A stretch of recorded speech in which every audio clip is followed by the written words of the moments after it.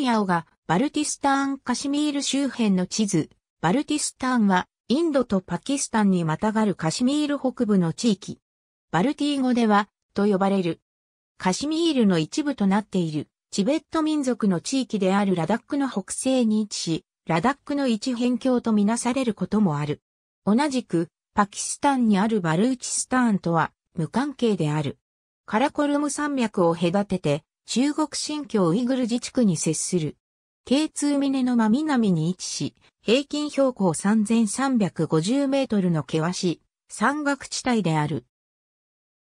バルティスタンは、元は独立したラダック王国があったが、1834年にシク王国に併合された。1841年には、チベットを支援する清が、シク王国に侵攻して、清シク戦争が起きた。1846年に第一次シク戦争のソブラーオンの戦いで、シク王国がイギリスに敗れた結果、イギリス植民地のジャンム・カシュミール・ハン王国が成立した。1947年のインドパキスタン分離独立の時もカシュミールの一部となっていた。1999年5月のカルギル紛争では、両国の係争地帯の一部となった。東端のカルギル一帯は、インド側、スカルドを中心とする大部分の地域は、パキスタン側の実効支配地域である。